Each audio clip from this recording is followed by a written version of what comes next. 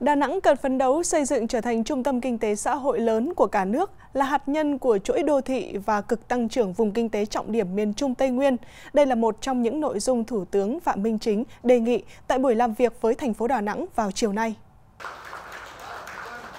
Đà Nẵng có hệ thống cơ sở hạ tầng phát triển theo hướng đồng bộ hiện đại, có tính liên kết cao cả trong nước và quốc tế với hệ thống gồm cảng biển, cảng hàng không quốc tế, đường sắt và đường bộ, là đầu mối viễn thông quan trọng quốc gia. Đà Nẵng là địa phương có nhiều khu công nghiệp, khu công nghệ cao, khu công nghệ thông tin tập trung đang hoạt động như Hòa Khánh, Liên Triểu, Hòa Cầm, Dịch vụ Thủy sản Đà Nẵng, khu công nghệ cao Đà Nẵng, công viên phần mềm Đà Nẵng và khu công nghệ thông tin tập trung Đà Nẵng giai đoạn 1. Đà Nẵng cũng là một trong năm ngư trường lớn với trữ lượng thủy sản khoảng 1,1 triệu tấn, chiếm 43% tổng trữ lượng cả nước. Thành phố Đà Nẵng đề nghị được phép bố trí ngân sách địa phương để thực hiện việc đầu tư xây dựng mở rộng các khu công nghệ thông tin tập trung, tháo gỡ các khó khăn trong phát triển khu công nghiệp để điều chỉnh cơ cấu kinh tế, tăng tỷ trọng công nghiệp, bảo đảm phát triển bền vững, phát triển casino ở một số khu du lịch, tháo gỡ vướng mắc trong quản lý, khai thác sử dụng công trình được đầu tư bằng nguồn vốn đầu tư công, tháo gỡ vướng mắc trong lập quy hoạch phân khu và quy hoạch chi tiết theo nghị quyết số 64 NQCP ngày 6 tháng 5 năm 2022 của Chính phủ và luật quy hoạch đô thị năm 2009 và tháo gỡ vướng mắc đấu giá quyền khai thác khoáng sản.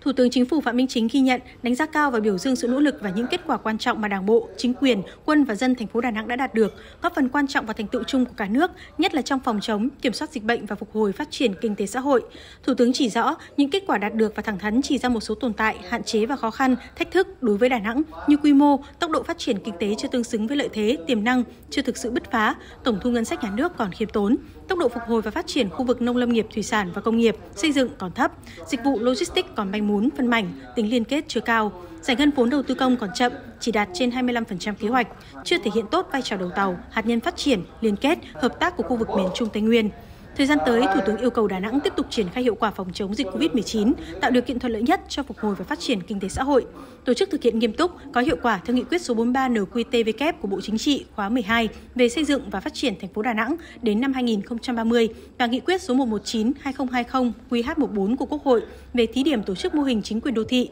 và một số cơ chế chính sách đặc thù để tạo động lực mới phát triển thành phố Đà Nẵng. Đề án thành lập trung tâm tài chính quy mô khu vực tại Đà Nẵng, phấn đấu xây dựng Đà Nẵng trở thành trung tâm kinh tế xã hội lớn lớn của cả nước, là hạt nhân của chuỗi đô thị và cực tăng trưởng vùng kinh tế trọng điểm miền Trung Tây Nguyên. Cùng với đó, khẩn trương xây dựng, hoàn thiện, trình cấp có thẩm quyền ban hành quy hoạch thành phố thời kỳ 2021-2030, tầm nhìn đến năm 2050 theo luật quy hoạch với tầm nhìn chiến lược, tư duy đột phá, giải pháp đồng bộ hiệu quả tiếp tục đẩy mạnh cải cách hành chính nhằm tạo môi trường đầu tư kinh doanh thuận lợi, tăng cường đối thoại, đồng hành và giải quyết ngay những khó khăn vướng mắc trong sản xuất kinh doanh của người dân, doanh nghiệp, thực hiện có hiệu quả chương trình chuyển đổi số, chú trọng công tác xây dựng Đảng và hệ thống chính trị trong sạch, vững mạnh, đẩy mạnh phòng chống tham nhũng, tiêu cực, tăng cường thanh tra, kiểm tra, giải quyết khiếu nại, tố cáo Đối với các đề xuất, kiến nghị của thành phố Đà Nẵng trên cơ sở ý kiến của các bộ, ngành, Thủ tướng Chính phủ cơ bản đồng ý về mặt nguyên tắc, đề nghị các bộ, ngành, đơn vị bàn bạc với Đà Nẵng xây dựng lộ trình, chương trình giải quyết theo thẩm quyền. Đối với những vấn đề vượt thẩm quyền thì tổng hợp, đề xuất trình chính phủ và cấp có thẩm quyền giải quyết